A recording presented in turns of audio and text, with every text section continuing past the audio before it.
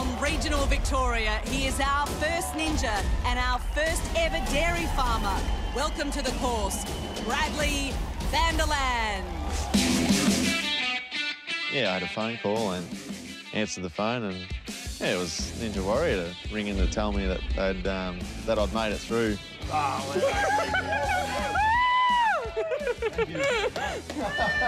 That's awesome. And then I realised that I've never trained for anything in my life. well, I'm from Denison in East Gippsland, Victoria. Uh, work on the dairy farm here. There's always something physical. Jumping a fence so you don't get zapped or, or chasing the calf. Milk 400 cows here in the morning. Uh, go inside for a nice brekkie and a cup of tea. I definitely don't have any Ninja Warrior course out here, but you know, us country blokes who can mingle with the best of them. No matter where you're from or what you do, I think uh, if it's something you want, you'll get the job done. on the starting Ninja Warrior course. All right, he calls himself a yobo. It looks all right to me. Yeah, well, he's got a good build for a ninja. 187 centimetres tall. He weighs just 75 kilos.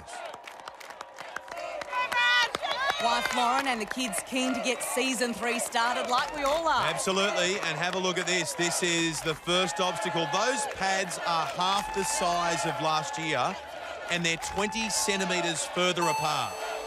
Bradley Vanderland. Oh, he's off to a great start. Lightning fast on the floating steps. And he's through to the swing surfer. This has got to be the toughest second obstacle we have ever seen. Let's see how he hits this trampoline. Wise to test it first of all. Very wise. Go. Bang. He's done it.